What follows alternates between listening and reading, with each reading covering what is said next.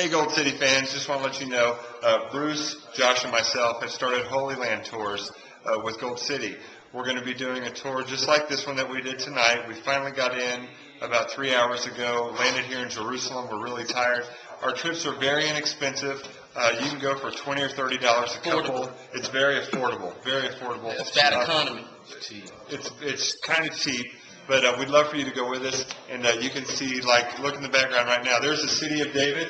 As you can Uh, see. as you can tell, what is that? That's the Via Della Rosa. The brown thing is the Via della Rosa or something like think that. that's the tree Zacchaeus climbed. It is. It's the tree that Zacchaeus was in. So if you want to come with us on a Holy Land tour, uh, just give us a call. It's like 20 bucks, and we'll just call it even. Twenty-five if you want like a, some, a mini, a mini Three Musketeers Yeah, we can throw in the Three Musketeer, but it's only tonight if you call tonight. tonight. Call Bruce One eight hundred Taliaferro. tonight.